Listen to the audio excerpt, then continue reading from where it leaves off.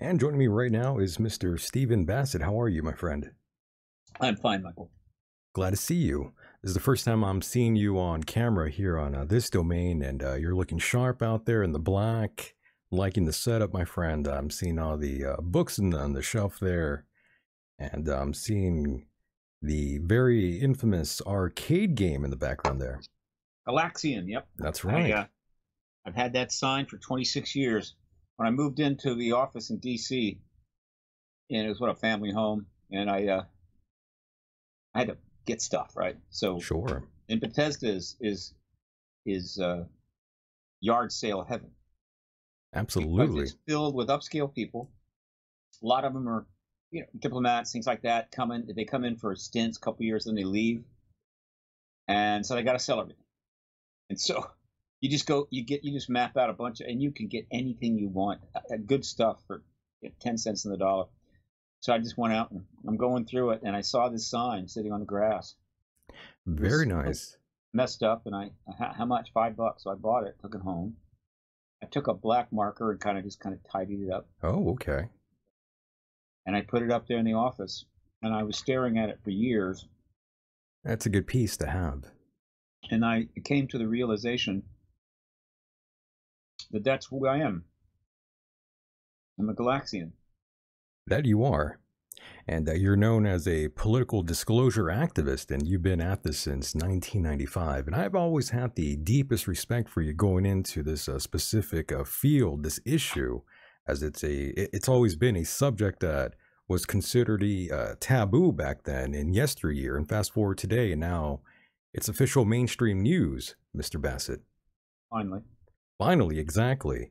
And uh, we, we've known about UFOs, UAPs, flying saucers for the longest time since man's inception. Uh, events of star people interacting with us has always existed. And this issue, uh, one has this issue has always been a really complicated for whatever reasons. Whoever's holding the, the keys to the, the kingdom, as they say, always suppression in this field. And Mr. Bassett, I'm sure you are more than delighted that we finally have all this progress uh, going forward with this issue. Yeah, um, I think the ETs have been around for a long time. Uh, they can come and go when they want. Go back to early human existence, uh, say the very beginning of our species, about 250,000, give or take. Not a lot happening. Of course, that was the scene in beginning of one of the great movies of all time. Right. 2001 Space Odyssey. Uh, and the implication was there was an intervention at some point that took a particular Homo species and started started it up a path that led to Homo sapiens sapiens, an intervention by non-humans. It was the best representation of that ever. Uh, no, nobody's come close to that. So uh, the idea and, and the evidence is clear that they've been coming, uh, certainly in the, in the, since the flood, 12,000 years, when we got more interesting, a lot more interesting.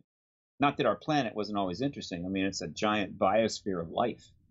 I mean, if you're an extraterrestrial biologist, what could be more interesting than a, an entire biosphere that developed completely independent of almost independent of all other biospheres, factoring in possible panspermia. panspermia. So, they've been around. Right. But in terms of mm-hmm. us, we don't start getting interesting until after the flood. And then we start getting really interesting about 120 years ago. I'm with you on that one. And that's some, you know, you, you bring up panspermia, and that's always what I was led to believe how everything came to be. Um, are are you religious at all, Mr. Bassett? I've always wondered this. You're okay, so you're like a you're basically an atheist, in other words. I prefer to say non-religious. Okay, that's even better. Okay. Um, so, thing about panspermia, it's a numbers game. Yes, sir. Uh, when I was in high school, uh, I got into this. We were reading. I was reading about primordial slime, now, this is all the way back in 64. Mm, yeah. yeah. Primordial slime. And the theories back then about how life came about from inorganic matter. and they've actually done experiments to try to replicate the primordial slime. And, and, and I don't know where the science is now, but I think if they had really conclusively shown how inorganic, non-replicating matter in the proper with the proper temperature and enough time and whatever the primordial soup could develop life, I think it would probably be a big deal. So I don't think they're quite there yet. But in other words, one planet is one particular option. It's one particular uh, example. You got certain mass, you got X amount of water, you got certain temperature cycles, certain distance from the sun, and all that, right? And you've got whatever the Earth matter was made up of, which may not be the same from solar system to solar system in terms of ratios of this and that. But you take it all together, and then you, you add water, atmosphere develops, no life, start getting electric storms, primordial slime, whatever, and so forth. Boom. Somehow, at some point, all of this starts to form something, slightly complex molecules that then can, in some way, start replicating. Okay. And again, one can make a case the odds of this would seem extremely small. And I would I would have to agree. If, if you were if you were watching the initial beginning of our solar system and the accretion disk around the sun, and you're trying to predict uh, whether a particular group of that uh, material is going to coalesce into a planet roughly about where ours is, distance from the sun, and predict what are the odds that there's going to be life on it in X million, hundred million, billion years, I, I think one can make a case that it's probably low. So many things that have to be just right. That's right. Okay, so again, how did life happen? Well, the moment you get to panspermia, it all changes. The math changes.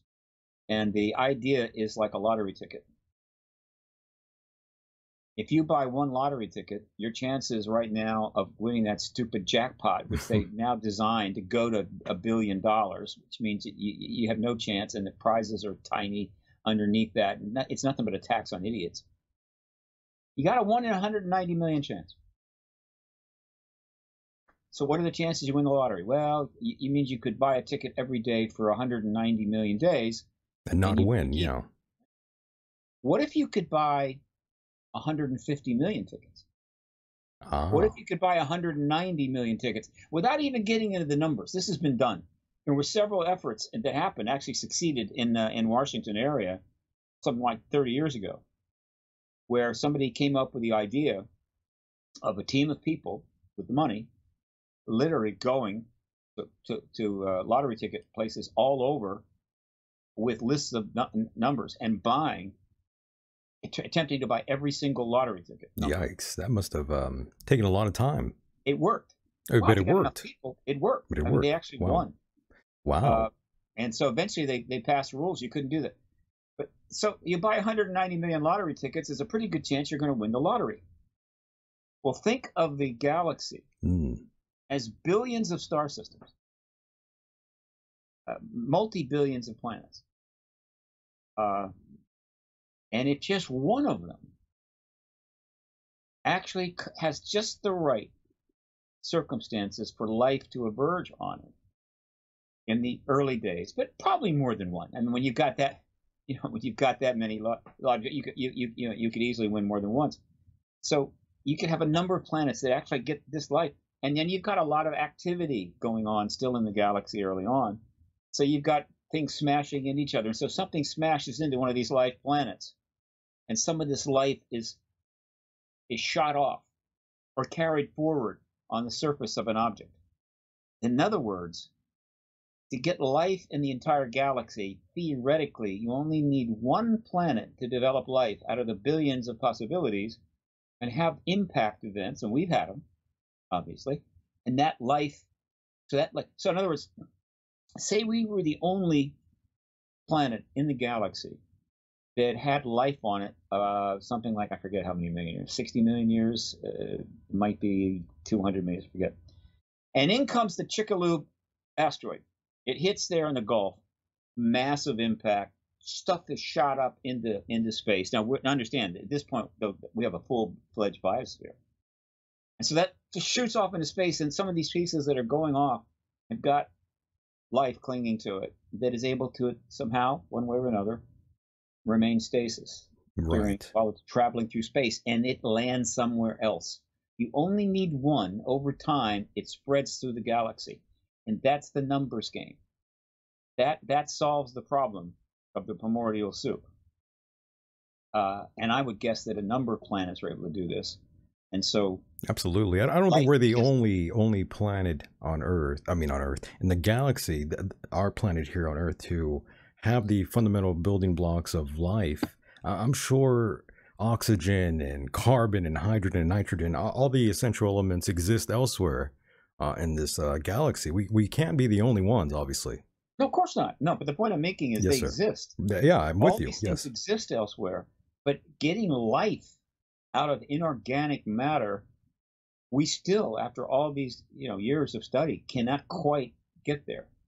How you know how does a rock, how does a bunch of you know a bunch of basic elements, right, Right. ultimately through some process start replicating themselves? It, it's it's it, it, we haven't we tried. I mean, we have we've created experiments to try to duplicate the atmosphere of that period going back several billion years, the primordial soup and all Mhm. that. Now shoot shoot electric into electricity into it, uh, and it's it's it, the odds still seems seem low, but panspermia is exactly how it could happen in the sense that it only has to happen in a few places. It doesn't have to happen in every case Right. panspermia, once it gets started, if, if you've got impact going on, life starts getting moved around. And if even a little bit of replicating life comes into a planet's, uh, uh, uh, into a planet that's got at least probably water, uh, that's enough. From there, you've already crossed that barrier, right? And off Right. you go. So I'm a big, I'm, mm-hmm. so in, in other words, some people are, you know, big on the Genesis, the book of Genesis. Right. I'm I'm I'm pretty much big on panspermia, and there isn't a book of panspermia in the Bible, at least not yet. Unfortunately, there isn't, but I mean, that is, in my opinion, the most logical and rational explanation of how everything came to be, everything that we see in front of us, is through panspermia. Um, other people could argue with that all day, but uh, I'm, I'm still yet to be, in my opinion, I, I haven't really seen all the other facts that would sort of support their theories on how we came to be. But um, moving on from that, I'm, I'm glad you brought that up because, you know, that reminds me of uh, some of the things that have been going around here uh, that Grusch has um, pretty much has been very vocal about, and even Tucker Carlson. I'm not a big fan of Tucker, but uh, as me and you both are in in the in the field here, we, we've been talking about this for so long. We're going to consume all media, and uh, Tucker was talking about how something he came across that was very dark, and uh, it has to do with uh, more of the religious aspect of of of, of all this that's been going on of, of disclosure. Um, and I'm sure what, you're what what did he come across? I mean, well. That's that's something. that's the thing. He didn't really go into detail because it scared him too much, and I'm throwing the quotation marks in the air. Um, it scared him so much he didn't want to talk about it to his wife, and I guess it was just too far out there, uh, according to Tucker. And I have a feeling it's because of the whole sort of um. Well, going back to the people in the Pentagon that they were saying um, that these aliens are are demonic. Look, uh, I've, I have a feeling now. they're wrapped up in all this. Is is what basically what I'm trying to get get to here. Well, let me just let me just say that you, you want you want people watching your show. You got to say things that get their attention. True. It's one of the if you're if you're if you're in the fiction business, that's cool. Got a license. You can make you make incredible movies about aliens that scare the hell out of people, and you make you make do a billion dollars. I mean, I get it. But if you're in the nonfiction business, a little t- tougher. So the the I the, we have been aware for some time that there is a fundamentalist Christian uh, element within our military. It's turned up from time to time because some some problem developed with it. Air Force Academy had it for a while. Think also with the Pentagon, there's some people in there fundamentalist Christian, and I'm sure it that would not surprise me that because uh, you, know, you can still be a general or an admiral and be a fundamentalist Christian, right? There's really no, uh, particularly if you're Old Testament, right? You know, it's like if you're New Testament, eh, it's a little tougher. Uh, Jesus wasn't really, you know, big on battle plans and uh, raging hordes, but the Old Testament God was huge on it. In any event, the point is is that uh, I'm sure that they, they raised these people at times raised the idea that maybe these things are demons. That's it. Okay, that's it. A limited number of fundamentalists at one time or another have raised the concern that maybe they're demons. That's not dark. That's not even a big deal. I, not in my mind either. I mean, that's just their sort of um, takeaway, what they think these things are. I mean, I, I don't think right, they're demonic, they, but they want. That's okay. Yeah. And and and if if if enough of them were in high position, they could they could be a force against disclosure. But the evidence does not not hold that up. If you're a fundamentalist Christian and you think these are demons, then then the government's policy of, of, of embargo, which I assure you is not based upon demons, is, is is comfortable for you. It's like great, yeah, national security, whatever. If you don't want to tell the people, that's fine with me because I think they're demons. I just hope that isn't the what's stonewalling all of this. I, the isn't. whole, I mean, come on. I, I, just think that's ridiculous. If that's no, if that's not. the case, if people are going to freak out and things are the world's going to change because uh, aliens exist, I, I think that's I think that's ridiculous. Well, the world is going to change, but the world is not going to. It's not. It's not going to have revealed to it soon that in fact these ETs are demons all along uh, you know, so go read Dante's Inferno. Uh, no, no, no, no, no. Look, the truth embargo thrives on these speculations, right? Uh, which, which, which, which are logically, it's human nature to fill up the truth vacuum that the, the truth embargo create created a giant vacuum, big hole, and uh, you know what happens with that. And so anything trying to get in there and fill it up, and that helps the truth embargo because what fills it up is mismatch, silly stuff in some cases, wild and crazy, or just pure fiction, whatever. Uh, and that's how propaganda works. It right. creates a truth hole, and then it, it, it, opens up the ability of others to fill that hole with whatever they want. And that's if it's right. the government doing it, then they'll fill you with a total non-reality. That becomes your truth, vacuum filled. And of course, then the country sails off into oblivion and ends up a pile of smoking rubble. Uh, so the truth embargo created a truth vacuum. And one of the problems of dealing with this issue and being an activist is you've got to, um, how would you say, not go there, step around it, go over it, go under it, go around it. Walk on eggshells, they say. Yeah.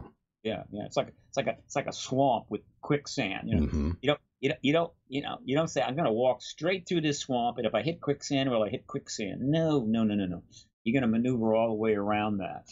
And so I've been doing anybody that's in this certainly politically, you're constantly trying to walk around quicksand, black holes, wormholes, whatever. You have to. And I blame that on the. I don't blame it on the people. I don't blame it on people who have certain thinking or ideas, or even ones that completely make it up. It's all. I blame it all on the government. If there's no truth embargo, 90% of this stuff completely disappears. So the government policy is the problem. And of course, the, the truth embargo is nearly over, in my opinion. Pretty close. Uh, there's never there's never been a time like this before. We've never been closer. Yeah. Um, uh, so much has happened in just three years. It's quite remarkable, and it not is. three easy years. I mean, these have been very difficult years. Uh, trying to move anything politically. Oh yes, it's hard. This year, the, the, the Congress had the least productive record and its uh, second least productive record. They only passed 22 bills, maybe 23. Damn. The worst was 21 under Hoover. And so we're not, politics is not working. Things are not moving forward. It's chaos. It's gridlock, blah, blah, blah, blah. We all, we, and we're reminded of that every day. Yeah.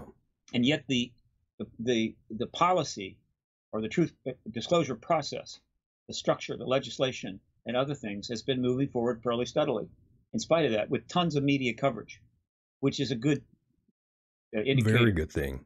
It's over. It's it's just about over. And well, things loosen up at all. yeah. We'll, we'll, we'll get back to this issue with the truth embargo in a second. I, I wanted to bring up the fact that I actually I found the, the clip I was talking about, and I'll play that now for you. In, in regards, yeah, let's play that. ideas were wrong, and I think that some of them were right. Is is what I'm learning, and I, you know, I'll just leave it there. The second thing that bothers me is the UFO story, and. Uh, you know, the more you dig into that and talk to people with knowledge, with actual knowledge of it, again, that's another story where there are some, you know, fanciful ideas floating around that are just, you know, there's no evidence that they're true. But if you talk to people who, you know, have actual knowledge of it that they gathered themselves, there are parts of that story that I do not understand at all that are really, really, really dark. It's so dark that I, you know, haven't told my wife about it. I mean, I, I haven't verified any of this, hmm. but this is not just stuff that I read on the internet. I know you all are very, very grounded in that story, so I think I know you know what I'm talking about. Yeah. But there's some stuff there that's just like, man, I, I'm not even sure what that means. Uh, There's a spiritual component there that I, I don't fully understand. Um, so yes, that story bothers me, and I think last thing I'll say that one of the reasons that we've had all the, these disclosures and all these what ten whistleblowers at this point, and it hasn't really become front page news. Part of it's suppression. You know, parts of the government don't want you to know about it, but part of it is the public can't deal with it. It's too far out. The implications are too um, profound, and so and I understand that because I've heard things where I'm just like, oh man, I, I don't even really want to know that, Mm. uh, Yeah, honestly. Deeply So- disturbing stuff. You know, forget like saucers You know I mean? and technology. It's yeah. deeply, No, no, deeply no. disturbing stuff. Stuff that I haven't even told Natalie. Yep. I agree with you. It's so disturbing. I can't even tell my kids. My kids ask me different stories about it, and I, I won't say Yeah, it because no, no, it's so dark. It's so dark. I Yeah. totally agree. Miles is watching. So Okay, Miles, if you're watching the show, Daddy's Yeah. not going to tell you about that part of the UFO stuff and what's going on with the Well, government can, and that can, can I say one thing? I, I'm, they've known clearly. I mean, this is, I think, established, and I feel comfortable saying this as fact. The U.S. government. I mean, these are real, whatever they are. They're not human, and the government has known that for a long time, possibly going back to the 1930s at least. And of course, there's tons of evidence in the written record, in the physical record, in paintings, um, and in the and in literature that people have been seeing and interacting with these things for a long time. So we know that, but the justification one often hears is, well, the government, the government, various presidents who have been read in, not all have been, um, haven't wanted to disclose this because it would scare people. And I've always thought that's that's bullshit. You know, you're hiding a crime, which they are, by the way, in my opinion. Um, but I do think there's a sense in which that's not totally crazy. Like there is some stuff if it's true, and I'm kind of thinking it may be true, that's so radical that, um, yeah, well, as we both said, we you know don't want to tell the people we love most about it because, like, why would you, you know, disturb someone like that? So I kind of get that. I hate to admit. I don't like that, by the way. That whole mindset of the the American people are gonna. It's too much for them. They can't handle the truth. I mean, I hate hearing people say that. Uh, he's he's he's he's. Look, you're gonna go if you if you're a journalist, you're gonna go on in front of a camera Right. And say you've heard things that are very disturbing, so disturbing I can't tell my wife, and I can't tell you, but I'm telling you it's disturbing. That's not journalism, I agree. right? And it's it's it's uh, the one thing he did say was that it's bullshit. That was the, that the, the thing he got right there was definitely it's bullshit. Um, and th- th- this whole idea that people can't handle the truth was was one of the core uh, threads of uh, the tr- of the truth embargo, uh, and it was it was bullshit from the beginning. In other words, the people that work in the Pentagon or CIA, they're relatively smart. Not all of them. Uh, there are plenty of people in various parts of government. Guys on the crash retrieval team. Some of them are just high school grads. So the people that work in government can handle it. We can't. That was BS from day one. I agree. American people had just gone through an unbelievable difficult time. Not to mention what the Russian people had went through. Yeah. And so the idea that the Russian people, after defeating the Nazis and losing 20 million people, are going to lose their mind if they learn that we're not alone in the universe is nonsense. It's always been nonsense.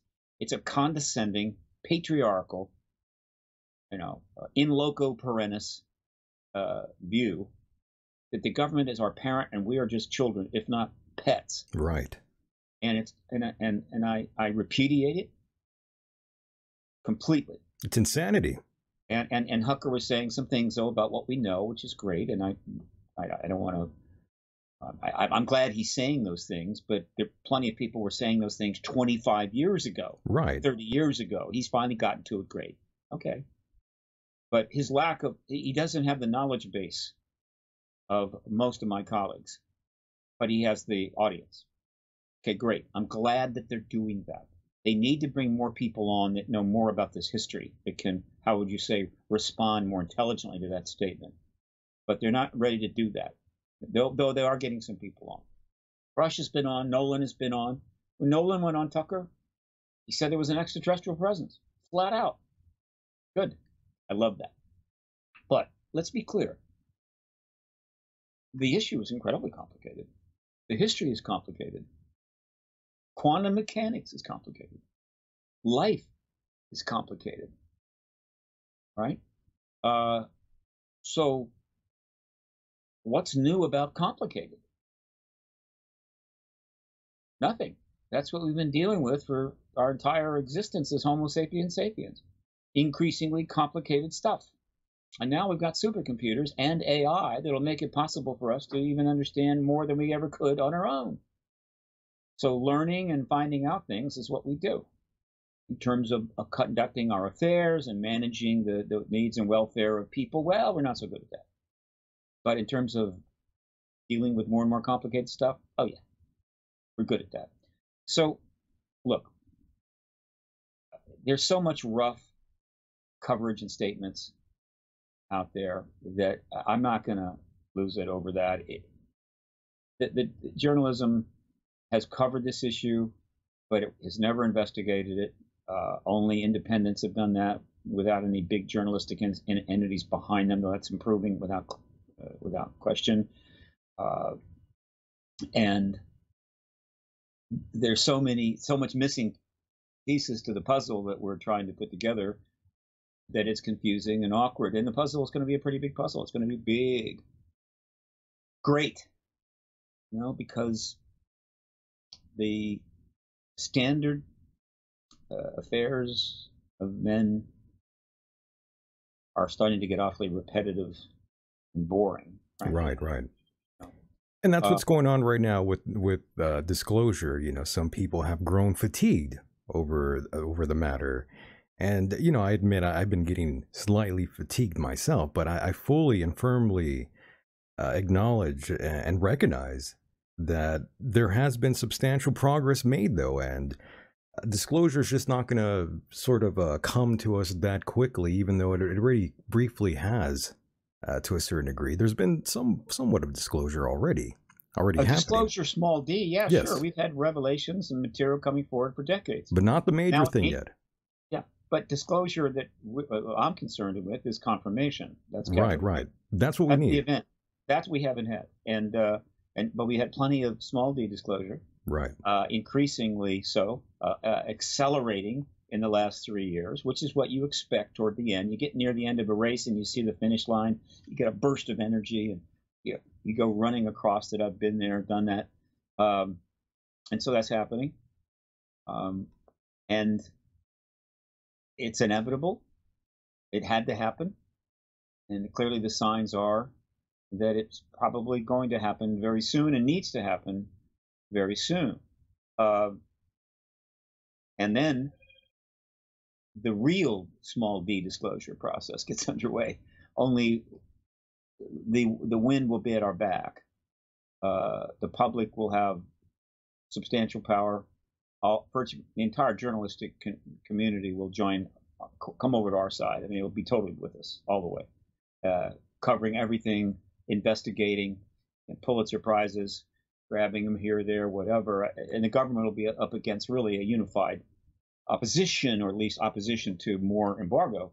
Uh, and so that's why I believe that after disclosure, the U.S. government, at least, and I think some others as well, are going to enter a rather interesting place that they have not spent much time, and, and that is the truth zone. I think that telling the truth is going to become not only required, essential, but mandated.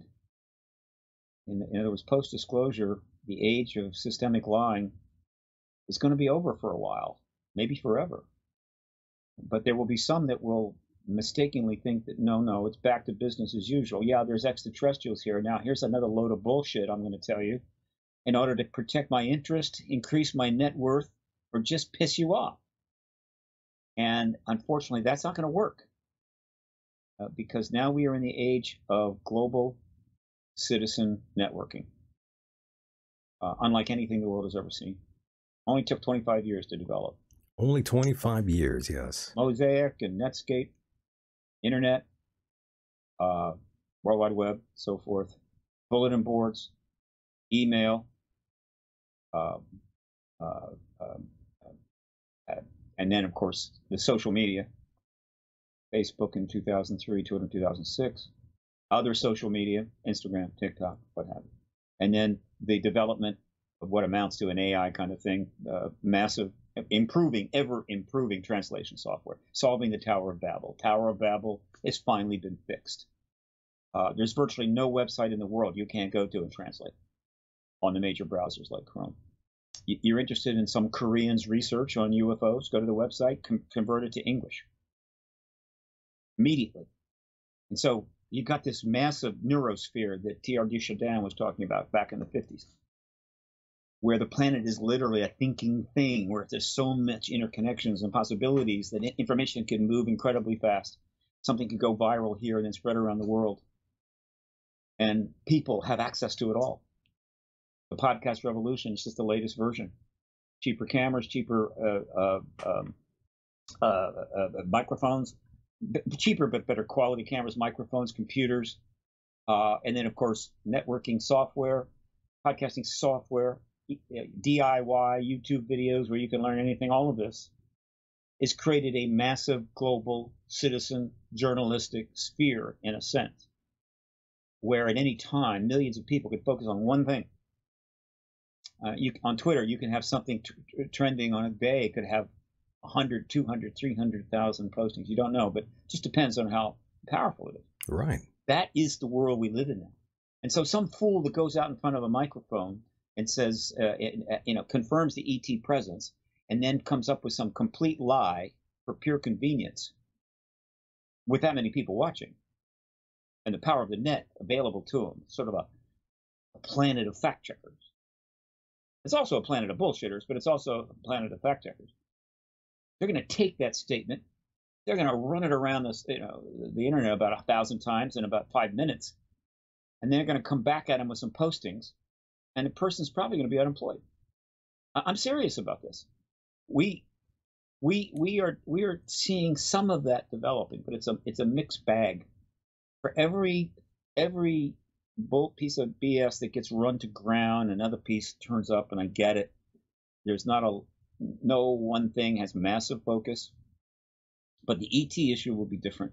The disclosure of the extraterrestrial presence, not just existence of the ETs, but the lie, the misrepresentation, the Orwellian misrepresentation that's three quarters of a century long, is going to wake up the internet like you have never seen. And they're going to say, look, yeah, forget, you know, Q. I mean, Q is just a deep, dark well where where crazy people lie to each other for sport.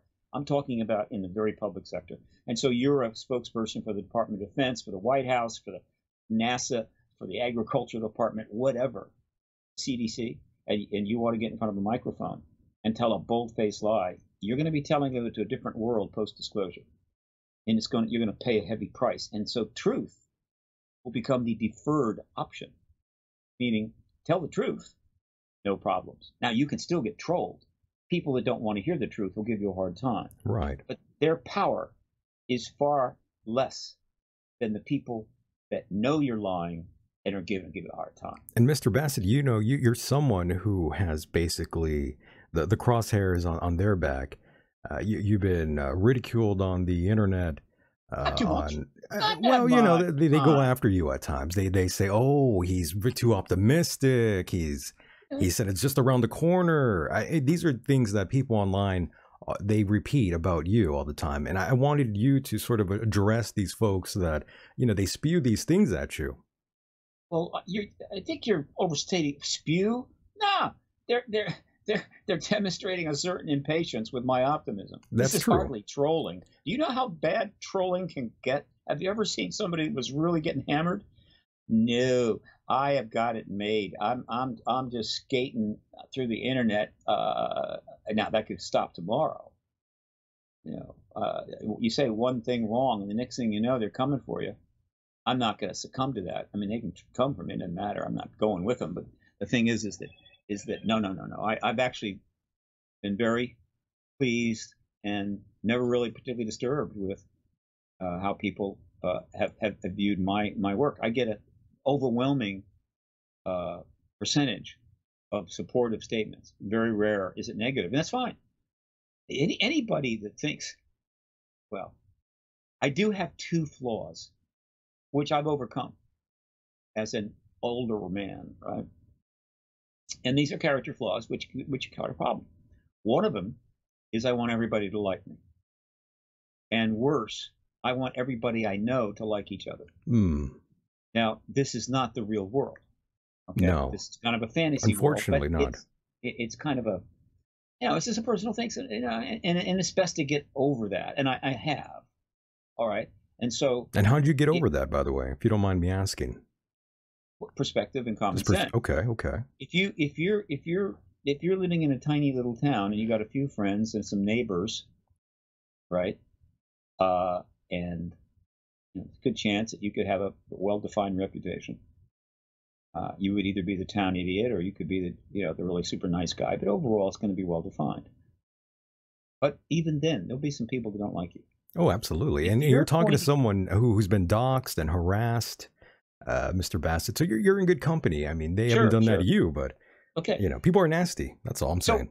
But yeah, well, yeah, You know they are. We know that. I- Yeah. I'm just saying, if you're going to be public, if you're going to interact with millions of people, Right, right. and you're thinking that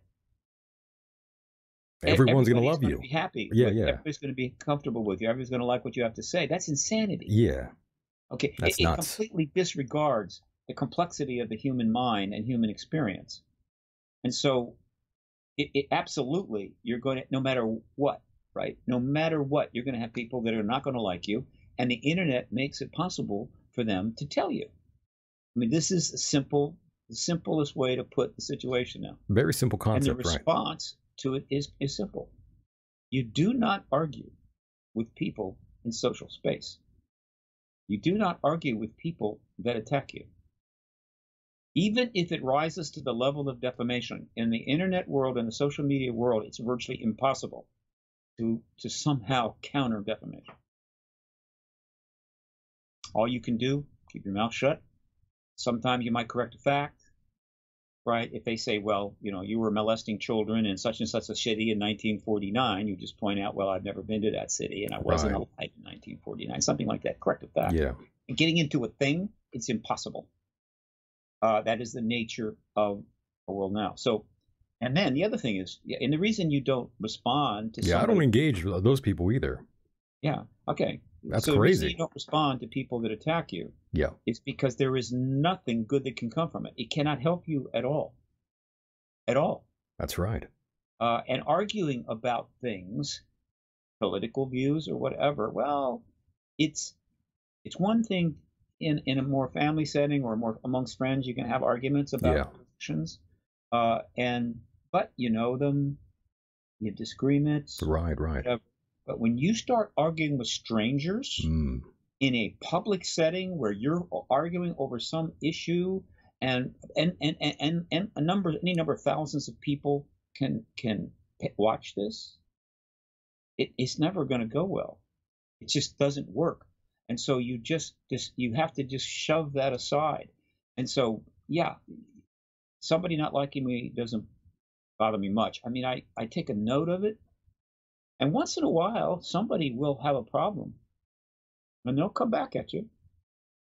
It would be preferable if they DM'd, right? That's what you're supposed to do if you can. I have DM on my Twitter. So if someone has a problem with me, I would prefer that they DM me and say, look, here's the issue.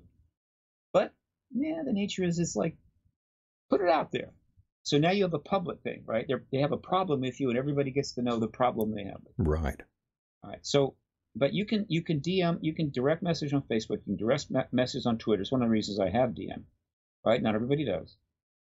Um, and so, and once people will come up and I'll, and and they're right. They're absolutely right, and I I will I will respond accordingly.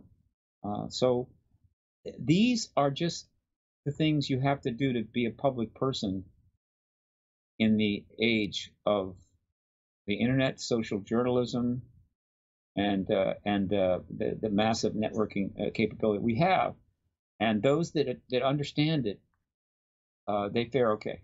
And there's a lot of great stuff you can do. Those that don't, they have a terrible time. That's right. So there you go. I, so I, I I I embrace the activist power of the social media and networking system that evolved in a very short amount of time, starting in mid 1990s. I'm glad you have a, positive outlook on, on, this as well, by the way, uh, Mr. Bassett. Yeah. I don't mean that as a, you know, no pun intended. Um, I think that's great that you do handle it this way. And I'm glad I brought it up because I don't think I've heard you ever really talk about that sort of issue uh, anywhere else. So uh, I'm glad I mentioned this to you because obviously you're well aware of all these fools out there. Uh, no, I wouldn't use that term, right? Oh well, I, I would. I mean, I like to, you know, citing. I like the I like the fighting, but that's a whole other issue. Um, I'll you know I'll be cool here. I want to get them all riled up. Um, but I could go deeper into this, but I will leave it there, my friend.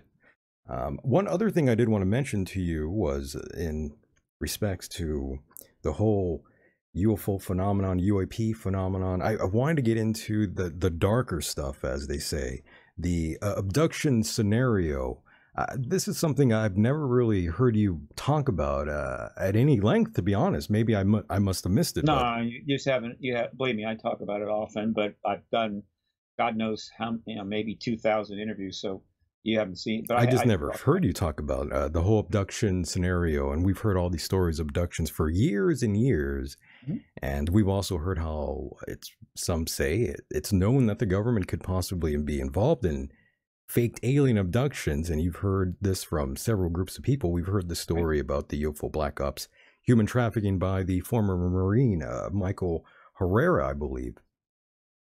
I'm just curious what your thoughts and opinions on these sort of issues are. If you think there's extraterrestrials abducting people, or do you think more along the lines of it being more of a uh, government operation? There is a massive program that pretty much centers around genetics. Uh, and, and, genetics is complicated, and there's a lot of ways that it could be uh, part of this. But it's a massive program uh, dealing with humans. This program is almost certainly for the benefit of the ETs, but we don't know what that benefit is. We can only guess. Uh, it, it involves taking people. Sometimes they want to go, sometimes they don't. Sometimes they handle it well, sometimes they don't. What else is new? And two men can go off to the same exact war, have the same exact experiences. One comes back and has PTSD, ends up sleeping on the sidewalk. Right. Another comes back, goes to college, ends up with a PhD, and, and, and become president of a university. Uh, it's how you react to things that mm. ultimately determines how well your life goes. Same for nations. Uh, it's how a nation reacts to things, not what happens to it that ultimately determines how that nation fares. This is one of the most fundamental laws, I think, of of the human condition, whether it be individual or whether it be institutional, that unfortunately is just simply not observed enough. But uh, and then there is a small, there may be a small, very modest program, probably not not not active, where government tried to learn what was going on, uh, what ETs were saying and doing with with, with people by uh, grabbing them in some way, interrogating them, and then using some pretty powerful drugs that they have, some of which are completely classified, to knock the memory out, maybe even induce a memory, and create right. what would be a a fake abduction. Particularly if, if there are already an abductee and they know it, and they it's going to be pretty easy to sort of convince them that under being drug, yeah, false memory, mm-hmm. and and this is the way they can get information. Now, I don't think it's an extensive program.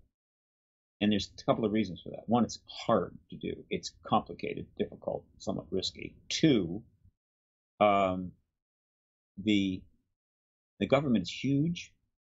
It has hundreds and hundreds of thousands of people working in it, millions actually total. But in terms of the military intelligence complex, several hundred thousand. And so there are and have been contactees, abductees working in government with high classified status. What does that mean?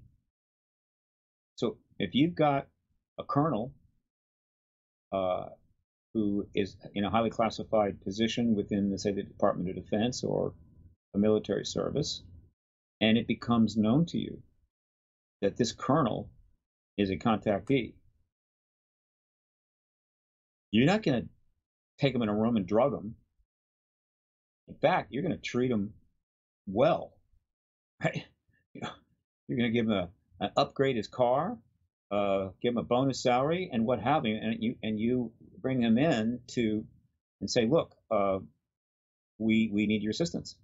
We need to know what it is like being a contactee, what is happening, what are they saying to you, and that, that person will be probably happy to do it because they're not going to be threatened. They're going to be treated as a major resource. So they've, they've had contactees within their own structures for some time. They don't have to go out and, and play games with with humans. But I think early on they might have done that. Uh, before they had access to inside classified, already classified, therefore safe. In other words, you know, your everything is classified, safe, it's not going anywhere. Your job's going to be just fine. You are helping us out. Hey, we may even get up you in rank.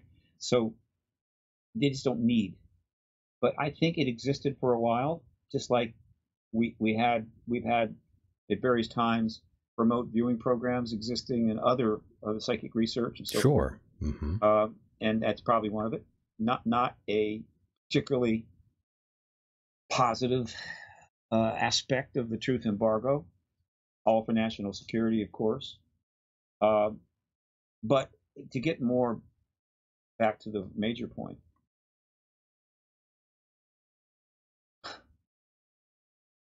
being alive is pain. It's it's difficult. Life it's is pain. Fun, you know. It uh, for the vast majority of people, it's it's not a sleigh ride at all. No. And and even for those who have everything, it could become awful. That's right. They, there's a long list of very wealthy people that are utterly miserable. Take very miserable, right? It's a tough gig. Everything's going along, and then along comes Hitler, and the next thing you know, it's hell for seven years. And so, one of the uh, things that some people are facing, having been born into this world, is dealing with aliens. Uh, and and and the one thing I can say about that is everything that I know about that experience, which comes from talking to people that have been through it. Not that there aren't, and there's plenty to read about it. Sure. Is that what the aliens the, I mean, aliens is a term that I don't like to use. What the uh, extraterrestrials are doing with contactees does not even begin to rise to what humans do to each other. There's almost nothing that humans won't do to each other. Every awful thing you can imagine, we've done it and we do it. So it doesn't even come close to that. So that's point number one. Point number two, it is it is almost serving some important purpose for them this is not something you do just for the hell of it. Right. Right. There is a very serious reason why they're doing that. Um, and and which includes, by the way, animal mutilation. Almost certainly, the animal mutilations are about getting certain types of biological material that they need. Uh, not they're just not collecting cow blood. Right, right. Right. So they're they need this material. It's almost certainly connected to the work they're doing with humans. So in terms of what a any any individual contactee can go through, it can run the gamut from this is fantastic to this is hell. Yeah, this is a nightmare. And, and and and so obviously the ones that are handling it badly, I I have nothing but sympathy for. And the the worst thing, of course, is that even if even if you're enjoying it, even if it's something you look forward to, you're still going to be ridiculed if you talk about it. So you have to stay in the closet. But the ones that are going through hell who have no recourse at all, uh, and have to live in a closet because they can't even talk about it, which is less so. Uh, these are these are people, but guess what? We have a lot of people living in closets. That's true. Lots of people living in closets. Oh yeah. And and it's not a pl- good fun place to be. And then they come out and they and they get doxxed and, and, and, and it takes a long time for that closet to be closed. Uh, there aren't too many groups of closeted people of size, though there's still plenty of pushback against those that have come out. The ET contactees are one of the last group, but they're just about ready to come out. And, and unlike most closeted groups, uh, using that metaphor, the ET closeted people, the contactee closeted people, are going to have the best time once we're there. When they come out, see, in, in, generally the way things go is that society makes people live in a closet because these people are not acceptable to the general society. Eventually, right. through various means, they come out, laws change. But once they come out, people are still giving them a hard time. Yeah, you're out, but we don't like you. You know, that's not the case here. When the contactees come out of the closet, people are going to welcome them with open arms. Okay? It was the government keeping in there, not so much society per se. The government's policy was designed to put them in that closet, not so much social mores or peer pressure. And so once the ET presence is confirmed, everybody's going to want to want to know a contactee. Everybody's going to want to talk to them. And they're going to be so thrilled that they're coming forward. Now, some are going to fake it, and that's going to pollute the issue a little bit, but they're going to be welcomed with open arms. And I'm going to enjoy the hell out of that, watching that happen. I'm not a contactee, but I know plenty. And uh, right. these people are going to become a huge information source for the world because they're everywhere, right? So they're coming out everywhere and talking and giving their experiences, and people are learning and, and, and getting a sense of it. And if they had a bad experience, they'll they'll say that. If it was a wonderful experience, they'll say that. And so when you just view it that way, how how bad is that? You know, how, how bad is that? Is it is it worse than the Holocaust survivors that were freed up at the end of World War II and the stories they told when they came back to the United States or to their home countries? Is it worse than that? No. Is it that bad? No. It's far less than that. So we know what that's like. We've seen it, and we value it. Steven uh, Spielberg, uh, as part of his uh, Schindler List movie, uh, around that same time. He was also making a huge documentary.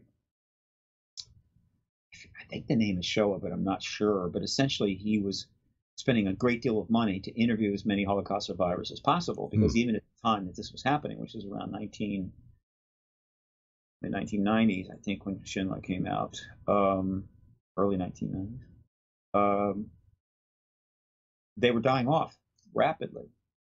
And so he went and got their stories and so to preserve. Well, we're going to do the same thing with contactees. Yeah, that was back in '93, I believe. And '93, mm-hmm. Whitley Strieber's gotten 500,000 letters. All of those. I mean, there'll be plenty of people to to interview, and and and so you will see more people coming forward. Projects in which contactees mm-hmm. are put on record. There, are, it's already happening, but I mean more more organized, more thorough eventually, I, I think you're going to have several million contactees on record uh, in film form, archived, uh, if not put into some content production for public consumption, but also I think just in general to have the archive because this this is the firsthand experience. This is firsthand information of what ETs are doing, saying, thinking, behaving. And boy, do we want to know that un, until such time as the ETs can have open contact with us and just hand us giant, well, you know, some DVD or you know, an ET DVD that has like 400 billion records on it. Uh, until then, the contactees are, are, are the interface, and knowing their experience will be incredibly important to history. In other words, this is the record of the modern engagement of extraterrestrials with human civilization. It's not ancient aliens. It's not the episodes of the deep past, which I'm pretty sure happened. I'm glad you brought up ancient aliens really quickly here. Um, yeah. What exactly are your thoughts and opinions on the television show um, Ancient Aliens? Uh, again, I've, I've, never heard you ever refer to that uh, that show until right now. So I'm curious, what do you think of this show? Once again, my friend, you need you need to spend more time watching all of my videos. I Uh, do. I, I, I, I mean, I, I have to uh, do a lot, but uh, I know I should be watching much more of you, Mr. Bassett, obviously. But again, hey, I've been hearing you for years since I was a child, Mr. Bassett, and I- you know, I've always, I've always. Jesus. Now you. I don't mean to date you. I don't mean to date you, but I'm just saying I've always backed you, my friend. Uh, everywhere I go, people, you know, they say, "Well, Mr. Bassett, this, child, Mr." I know. I'm like, you're like my, uh, you're almost like my my grandfather of sorts. Okay, now I'm really feeling fine. I'm Uh, sorry. I, I'm sorry. I went there. no, Ancient Aliens is fantastic. I love it. Yes, sir. It's an incredibly good show. It's it's it's it's extraordinary. It it can it, it sprung from the mind of Kevin Burns and George Tsoukalos. Uh, who I love George Tsoukalos. I wish I could hang with him. He, he just he's just he's always traveling somewhere. He's He- always busy. You know. yeah. You can't you can't hang with George. But uh, I did meet Kevin Burns before he died. Oh yes. Rest in peace. And so, working from George Tsoukalos's incredible uh, journalism, writing, you know, publishing at Legendary Times for years, uh, and then drawing back on some of the most prolific of the early investigators, Von Daniken and Sitchin and so forth, they started to develop the idea of let's just go look at history, hopefully with a, an open mind, and look for anything, any clues whatsoever that have ET connections. It's like an investigator going to a crime scene, Right. looking for any clues that could point to what happened. I think he's done uh, well. You know, Giorgio has done great with the, with the television show, no doubt. But of course, there there's always those other people, those unsavory characters that want to interject. Uh, you know, very fanatical things. I mean, the whole cowboys and aliens uh, thing that went on a couple years back. I thought that was really bad. Cowboys and aliens? What are you referring to? There was they did a, a, well, there's a movie. Well, the movie. I've Yes, seen the movie. but- yeah, but ancient- with ancient aliens? They brought it in that aspect into the show. Oh, oh, oh! well, Look, ETs have been around. Oh, absolutely. But I just thought, And- why why go there though? Well, because it, it because why not?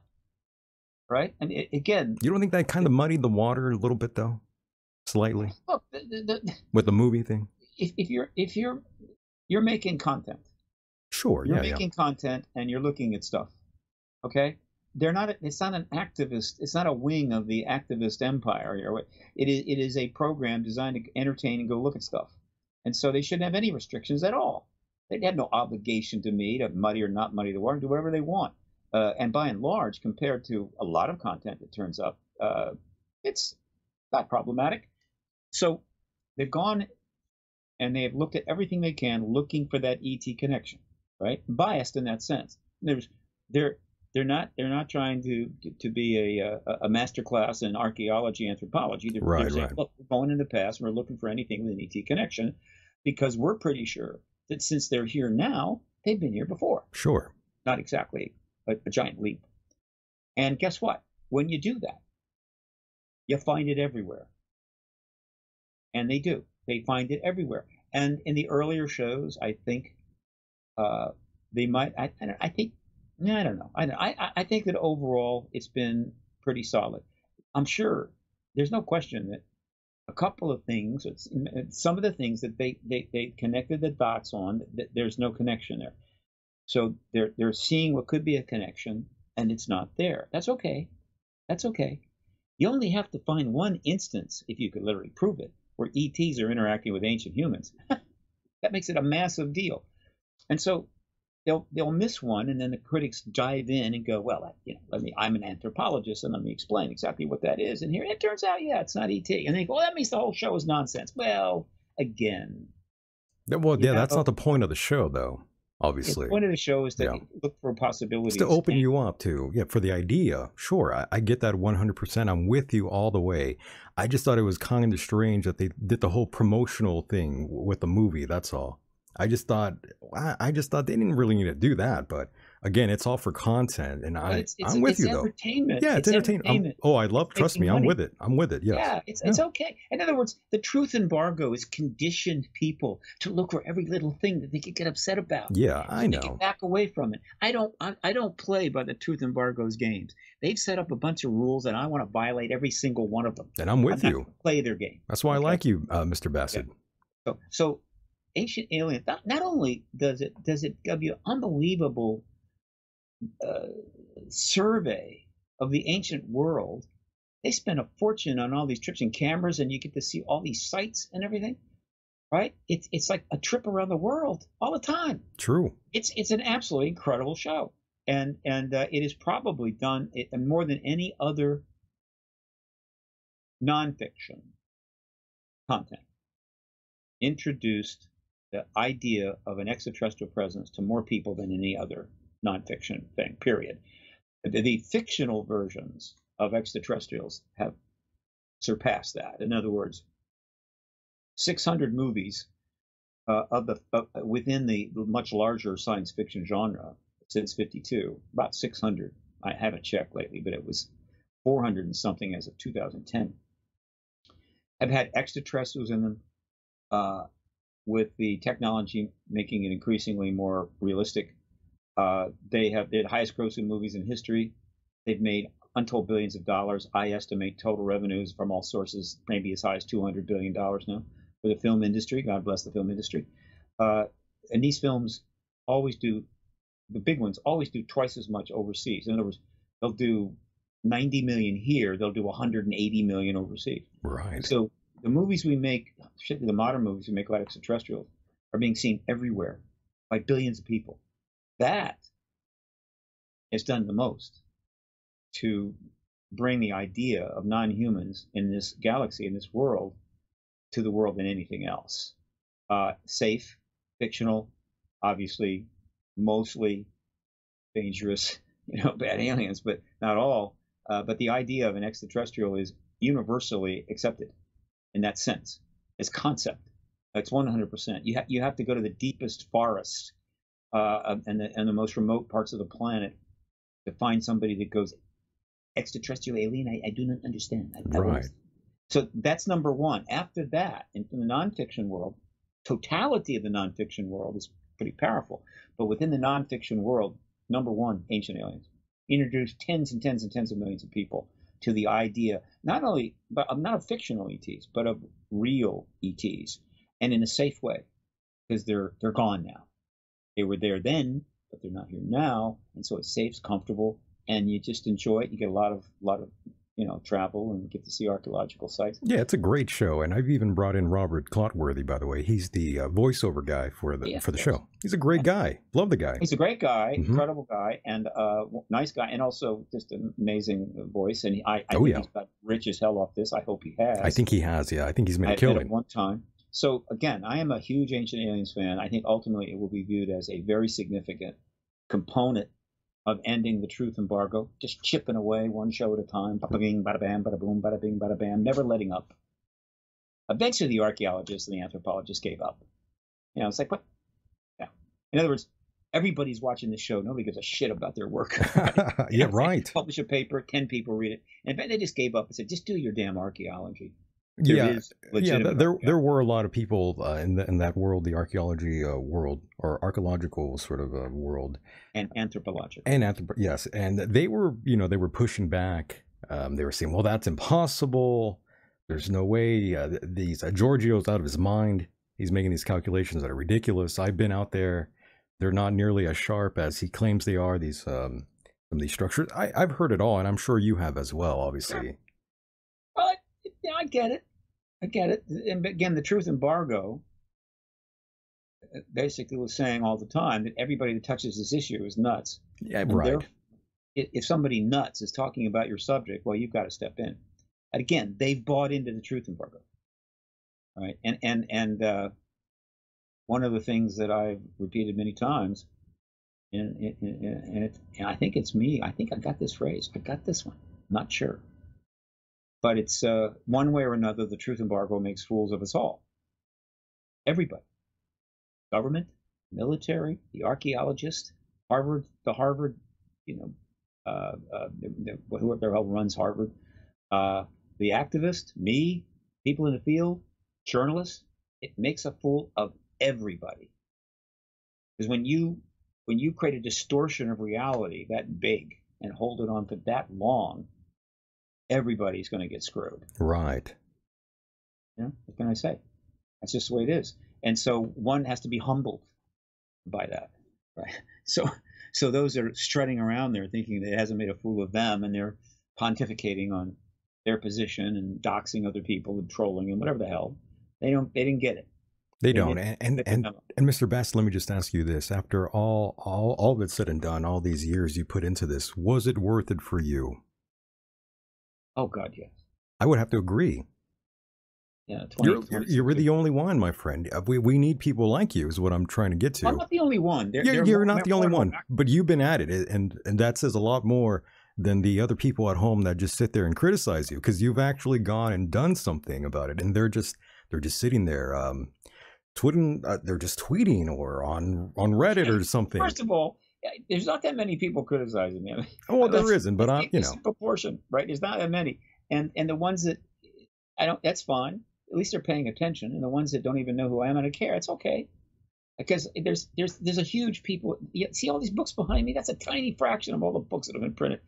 There's there's huge numbers of people in the citizen science journalism activist world that has been pushing this issue forward, uh, running into the wind, hamstrung, with not much money, uh, and thus the truth embargo was, was, was maintained.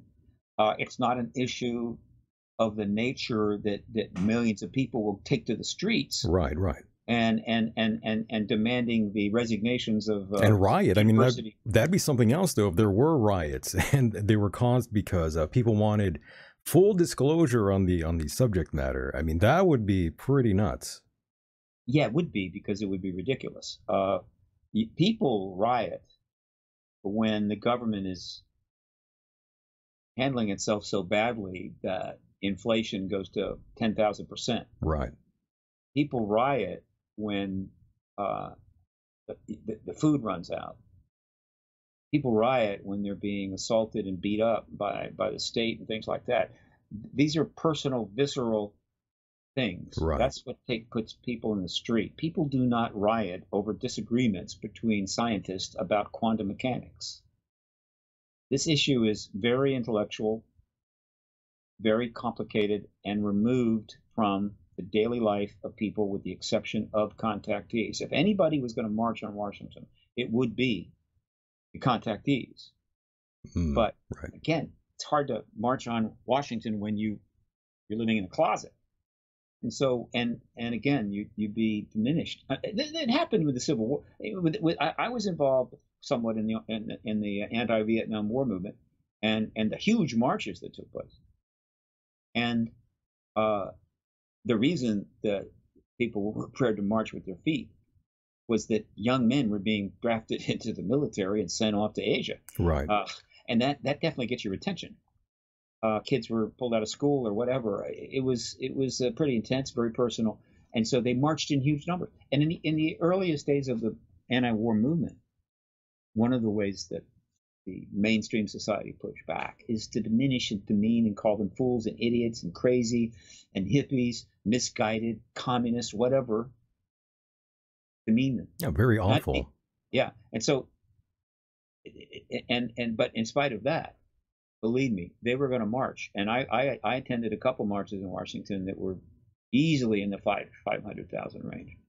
Uh, it was an interesting experience. Yeah, I would imagine.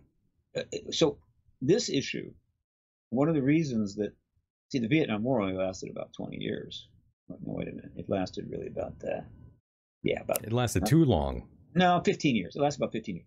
The, the reason that this issue is particularly difficult is because you, it is not an issue that people are going to vote with their feet. They're not there's been a couple attempts to do a little of that picketing kind of stuff. It's utterly, it, it, I mean, I love the effort, but it had, had no chance. Right, it's going nowhere. People are not going to be able to push back in that way, but you're still going to get ridiculed. In other words, if you're if you're if there's 200,000 of you out there, somebody wants to ridicule you from the side, screw them. There's 200,000 of us. But in this issue, you can't really come together en, en masse uh, and so everyone's kind of isolated. This is whether you're a journalist, whether you're a documentarist, generally you're kind of isolated. And, and there were groups that were formed, and there and there and some exist. MUFON is a group of people that, that are essentially a group spread out, but a group. NICAP came together, very powerful group, but they, they and too powerful. They they had to destroy it, and they did in the late 60s. Um, but again, so you're isolated, and so the ridicule, there's no, you know, the ridicule is just coming at you. So much more difficult to be an activist in this field, which is why, as late as 1996, no one had ever registered as a lobbyist on it. Right. Even though they had Mhm. hearings back in 68 and 66, because the ridicule, because it's, it's silly and ridicule, no one's going to pay you to do it. So there's no pay, nothing but ridicule, other than being first. And I, but my life was such that yeah, I could be first. I had nothing to lose. I, I had I had been so unsuccessful in my previous life, so profoundly unsuccessful, without completely losing it. In other words, in other words, you can be unsuccessful to a point your life completely decays into nothing, and you're you know you're like people all over Washington D.C. and, and L.A. You're sleeping on the sidewalk, right? Okay, that's not what I'm talking about. Just it's just nothing happening. Right? You're living, you're paying the rent, you exist, but nothing is happening. So unsuccessful in that way. Then it was time for me to do this. I had absolutely no barriers at all. Yeah, it's time for you to break free. Nothing. Yeah. I mean, I, there was nothing anybody could do anything to, to me. There was nobody I had obligations to. Uh, I was completely free to do whatever the hell I wanted. Uh, uh, and have to pay, deal with the consequences. But and so, uh, being the first unpaid lobbyist on, on the subject of extraterrestrials, That's been a rough ride, I would imagine. no big deal. So that that that was that that was the the one good thing that came out of my failure to get it together is that it allowed me to go where somebody who had it together couldn't go. Not that there aren't some very together people that have gone into this field and doing a lot of stuff. Don't get me wrong. Right. But let's face it, when it comes to being a, a, a registered activist, lobbyist on this, apparently nobody wanted to do that. Plenty of people have done research, done docs, written books, but nobody wanted to do that. Uh, and uh, so I- I said, okay, fine, it'll be me. Very lucky, very lucky. So I am. I'm not going to have many regrets. I mean, I'll have some, but they're they're just diminished by being part of this. Uh, to be part of, and even a small way. And now there's people that are now. Hev- I know people that are heavily part of this, right? Sure, Obviously, yeah. talking about, right? History books will write about them. History books are not going to write about me. But to be part of, in a meaningful way, the most profound event in human history, to be part of getting there and then experiencing the after effect of the event and maybe even being involved in the after events, the odds, and plus living long enough to do it, right? Because, I mean, I one thing I, I did is I took relatively pretty good care of myself during my non-productive years, Sure. uh, and so consequently I bought some time. So I've already outlived my parents by seven years. So there's a chance I'm going to spend a number of years in the post-disclosure world. I mean, You'll be here. You'll be here. And personally, I, I again, I, I have a tremendous amount of respect for you, Mr. Bassett. Again, you, in my opinion, will be remembered throughout history with this matter. And it won't be just a footnote in time. Uh, you will be definitely remembered as a trailblazer of sorts in this field. history decides who they remember and who they don't. But I will say this: uh, it's like it's like it's like film, for better or for worse. Uh, if you're a film actor, you don't just leave a headstone behind that somebody has to look up somewhere and go find. You leave all this film, which is now being preserved, and so a thousand years from now, people will pull up a you know, little file and look at some movie that Cary Grant was in. And Archibald McLeish will be remembered. I think it's McLeish, whatever his last name is, uh, his real name. He will be remembered for, for for a long, long time. They leave these incredible legacies. The downside is is that as you get older, there's all this imagery and video of you as a younger A person young person, right? and you you and it's hard to get away from it. Uh, so you have to. That's an issue, but uh, you, have a legacy. The internet now. I mean, the Wayback Machine. Look, at the Wayback Machine. Hey, we're, we're immortalized now. Eh, you know, we're we're really big at archiving stuff, and and and, I'll, and we keep coming up with. I have a I have a flash drive that's this big. It's it's smaller It's about the size of that little tip of my finger there. You see that? Right. Yeah, I see Small. that. Two terabytes. And more powerful than what NASA sent to the moon. I, I don't know power, but it's got two terabytes. And so the one thing we can do is store stuff.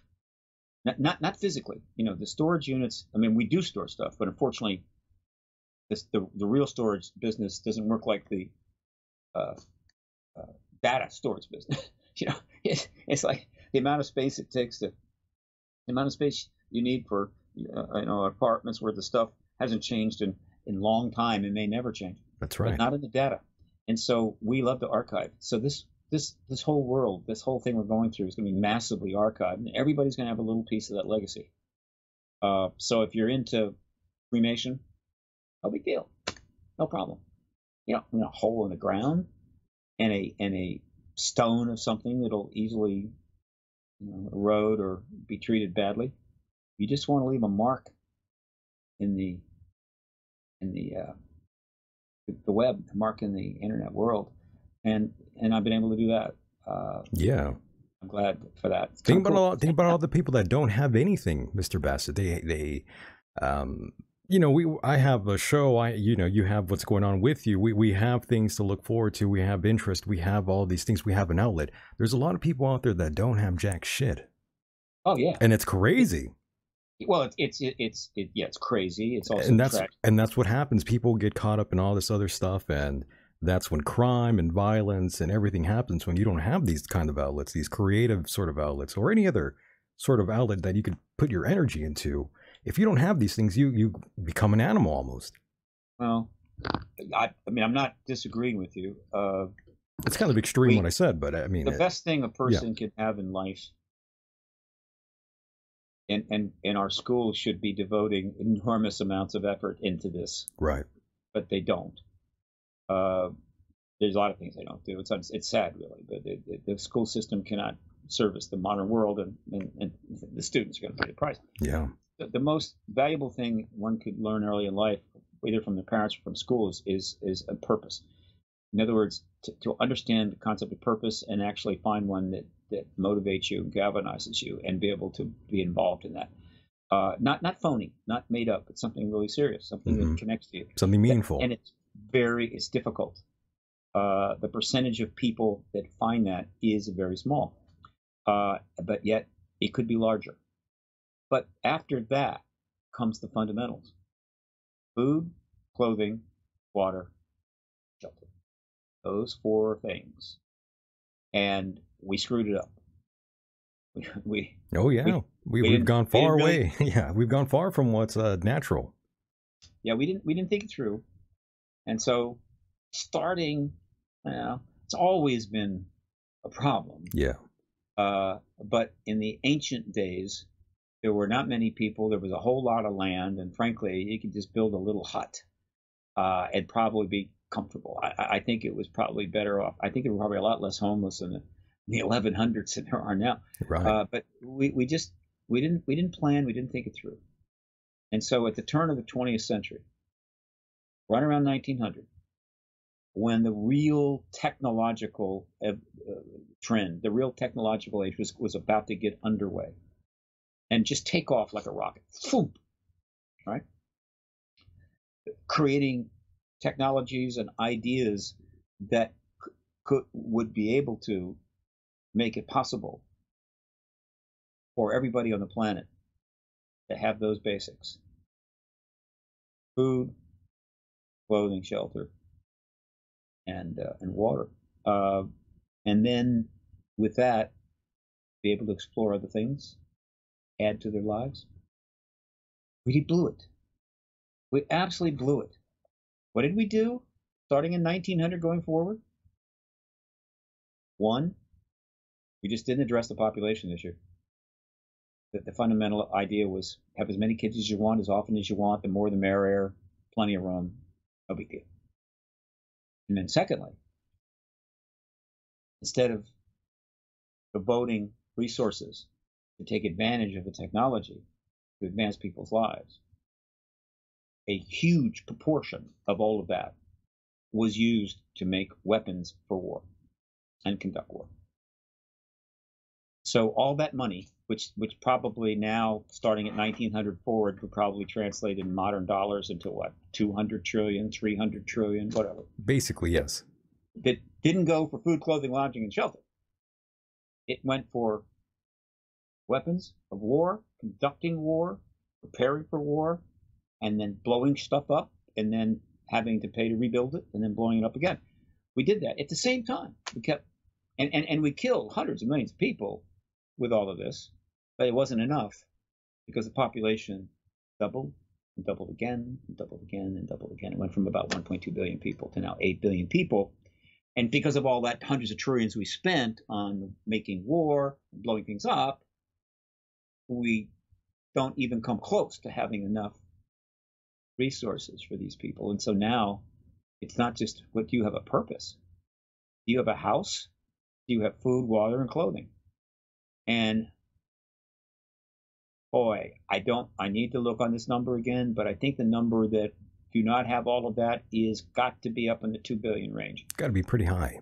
It's high. And as a result, you have a lot of unhappy people. You have more suffering, unhappy, angry, frustrated people on the planet now than you had people at the turn of the 19th century, the 20th century.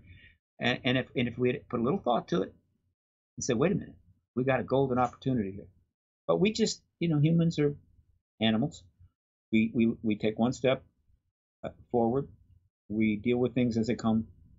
We do a little planning. Eventually, we had tech to help us plan. But we just take things as they come, play it by ear, play it by ear, and see what happens. Well, what happens is 8 billion people, 20,000 nuclear weapons, bio war labs, right? Degrading environment rapidly, right? unbelievable dissatisfaction, terrorism, and so forth. That's what we ended up with, starting from 1900 to now, 123 years. And along the way, extraterrestrials manifested themselves, which opened up all kinds of interesting possibilities. And we blew that too. Right? Instead of embracing that and seeing where it would take us, hid it. Lied about it. Demeaned the people that tried to find out. And that decision was made halfway through the 20th century. We'll never know what the 20th century, the rest of the 20th century would have been like if Truman had just come out and said, look, yeah, we got ETs here. We got the bodies. We got the craft. I don't know where this is going, but we're looking into it.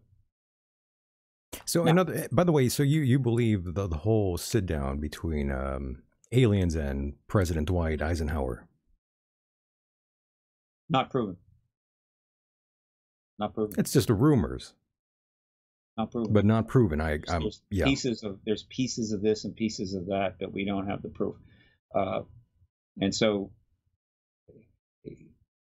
if the evidence print it this way if, if, if I if you take all the evidence and kind of look at it and make and you have to have to make a call, one way or the other, a legitimate call, not just whatever the hell you want. And and and, and the call has to be the ET call. I think it's possible he was taken somewhere to see a body, or maybe even see a live extraterrestrial. Uh, we had one at that point, I believe. Uh, and that's not the same thing as getting together with a bunch of extraterrestrials in a boardroom and cutting out deals to carve up the galaxy. No. Right but it makes for a much better story. So that's more likely. I mean, to me, that's where I would go. Mm-hmm. Now, that doesn't mean that it didn't happen, uh, and it could have happened. And if it did, it's going to come out post disclosure pretty quick. Yeah, I think it's possible. I don't rule and it out completely. List, on the list of PR problems that the government has post disclosure, that's right up near the top. I mean, that's the one where you need to hire the top PR firm and do a balls out program to somehow mitigate the blowback and not get canceled. Because if the answer to the question, which will come up soon, because you know the journalists have been on fire about this issue for quite some time, and so there are plenty of journalists out there, not just the ones we know about, like a Ross Coulthart or or, or uh, Mezrich. There are so many that have looked at this issue. Uh, they've read stuff. They know stuff. And so they're going to be in that room, and the question is going to come up: Did the United States go into an arrangement with extraterrestrials, a formal arrangement in which we backed off and interfering with any abductions in return for technology. And if the answer is yes, and that is in fact the essence of the Greada Treaty, then there's going to be an uproar. That's a big one-two combination right there. That's going to be an uproar. That is not going to be something where you can just say, "Look, it was national security. What can we do?" now? that's going to be a stinker. Oh yeah. And and uh, I, in other words, there's there is a limit to how much public relations they can do, how much damage control they can do. I mean, they're they're doing a lot. They're doing a lot of the right things. But if the answer to that question is yes, they better be prepared to be very humble, very forthcoming, and respectful, because all hell's going to break loose on that one. So we'll see. Yeah, we're going to see. And uh, Mr. Bassett, I do want to thank you tremendously for this opportunity to, to speak to you as always. And it's always a truly honor and pleasure to have you here on the program. And before I let you go, um, mm-hmm. um, is there anything else you would like to add that you might have maybe forgotten? Or, okay. or maybe if you if you have any final words about anything, you're more than free to do so. Uh, but of course, I, I want you to promote anything you have coming up as well. Certainly, no promo time. Yeah, let it rip promo time. Look, um, first of all, the Hollywood Disclosure Alliance, uh, my partner Dan Harary and I founded in uh, November 1. It's coming along, HollywoodDisclosureAlliance.org. Uh, it is a networking entity to bring people in the UAP ET world with professionals in the content creation world uh, so that they can identify each other and know who to get in touch with so they can start making contact with the post disclosure world and make money the HDA makes no money. It is absolutely non nonprofit, non-commercial. So we're just networking. And so if you go to that site, you will see a, a big group of what we call uh, film or entertainment industry founding members and then UAPET founding members. Nice. Okay. Uh, and they're identified by their bio and and, and uh, photo. The, and we're gonna we're growing that. We we hope to see a very large number. We also have a sizable board of 20 and an executive committee. Uh, soon we'll be nonprofit and start raising money. So it's a, it's it's basically it, to to get so people can know mm-hmm. who to talk to and break down the barriers that were created by the truth embargo all these years between the, the mighty film industry making billions and billions of dollars on fictional ET movies, but now trying to get into the understanding that the, the biggest story in, in, uh, in history is breaking, and, and they're they're starting to get into it, but they're not they're not embracing the people that wrote all these books. So that has been created. We need what we need right now mostly. The most thing we need right now is we need more film industry professionals to join up as founding members. That costs nothing. In other words, if they've got some time and grade in the entertainment industry, directors, producers, writers, actors, grip guys, whatever, they're in the film industry, and they they they want to be contacted. They would like to be involved in projects uh, and are willing to put their name and bio up on the site. We want them. We need film industry people because I've got scores of people in a holding pattern over Los Angeles circling, waiting to land, and I can't land them because right now we've got almost twice as many UAP as we do entertainment industry people in the, in the Hollywood Disclosure Alliance. So as we add a couple of the entertainment industry, you can bring one of the ET people, and so we can get up to something that's reasonably balanced. I'd love to see it get up to around 70 uh, film industry uh, members, founding members, and maybe 100 UAP ET founding members. That would be pretty good, very nice. So that's the HollywoodDisclosureAlliance.org. And then I just started the uh, Shift Storm, which I talked about. Uh, shift, don't forget the F, storm.org. Uh, go there, read it, and start tagging messages to the three senators who are the ones that will decide when the the hearing are the, the hearings are going to start in the Senate, and ask them to do it in January nicely. They're, they're, they're, they support us. They're on our side, but they're dealing with the political realities. We need those hearings in January. Or you can send an email. It's all up there at shiftstorm.com. And then I'm going to be speaking at the uh, Conscious Life Expo. I think it's mid February, February 19th or something. Check it out, Conscious Life Expo. I have the link on the front of my site. Uh, it's probably going to be 25,000 people there. At the uh, it's pretty busy. The, the LAX Hilton, 200 mm-hmm. speakers. Uh, the flu season will be over, but I'll be masked up anyway, and uh, it's cool. It's one. It's one. In, in terms of new, the, the combo conferences where you know New Age and other stuff and alternative plus UAP, probably one. Of, it's the biggest in the world. Um, And then May 30 to June 3, I will be presenting at the Contact in the Desert, which may be the largest, pretty much UAP conference, basically. It's almost all about that. It, it, it's held. We, we're going to double the attendance of last year. It's going to be huge. Is that going to be at the Renaissance again? At the Renaissance Hotel in Indian Wells, just south of um, Palm Springs. Yeah, I saw you there Uh, last time. And look, you know, you, you you buy your tickets when you buy your tickets. If you want to be in the hotel, you had better book it now. I'm serious. Or if you if you if you don't want to be in the Indian Wells, you want to be in another hotel for whatever reason, book it now because the, the hotel rooms are going to fill up. That's true. This, this, this, there's going to be thousands of people at this conference. Yeah, I tried to get a So- room last year and I couldn't. You got to get the rooms early. Get the room. You can buy the tickets anytime, but you've got to book those rooms. If you know, you know, and, and you, know, you want you want to be at the Indian Wells if you can at the Renaissance because hey, it's a fantastic resort. Oh, resort it's a beautiful, you Right. know. and hang out. So I'm just saying, do that. Uh, all that's up on my website. Uh, and let's see, there's something else. Oh, there's something else. Oh, yeah, your final message to us here. Um, well, let me also mention that Paradigm Research Group will be converting to a 501c3 pretty soon and starting to raise tax-free, tax-deductible money. Uh, I'm going into that zone and going there because of the post exposure world. Uh, in other words, PRG is going to be less activist and more think tank. In other words, I want to create a mo- modest think tank right here next to the White House, practically. Uh, get a group of people together to to provide information, white papers, whatever, to influence or in, involve people on this issue. Um, oh, I just made a mistake. Hang on a second. No worries. I kind of goofed. That's okay. It Oof. happens. Okay. So, um, so I'm going to do that, and uh, we'll be looking to raise money for Paradigm Research Group, boutique think tank, two blocks from the White House. But Daniel Sheehan, hmm who who runs the Romero Institute out of California, has been for 30 some years. He has he finally got funding for his new Paradigm Institute, which is a big think tank. Uh, it's off. It has an office one block from the Capitol building. It's also going to have an office in Los Angeles. So the new Paradigm Institute, newparadigminstitute.org, they're they're going to be raising millions of dollars, and they're going to have a very high end advisory board Nice. and, and it's being created for the post-disclosure world. And, and, and again, let me repeat this. For those of you that, that, that are figured this out, it's time to get ready for the post-disclosure world. Right?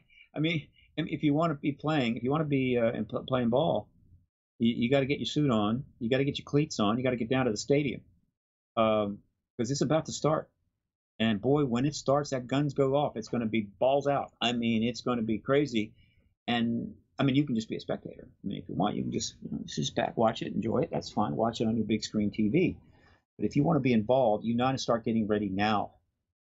Um, there's a thousand ways to participate, a thousand ways to engage. Uh, whether you're just in basic business, I mean, businesses are going to change. Change. Uh, there's going to be business opportunities like crazy in the post-disclosure world that didn't exist now. Whatever. It's coming. Just giving you a tip. Whatever. So uh, that's kind of it. I think I'll, that'll do for now. Thank Very you so nice. much. Very nice. Thank you Fun. very much for being a part of the program. We will talk to you again on the other side, my friend. Ad Astra.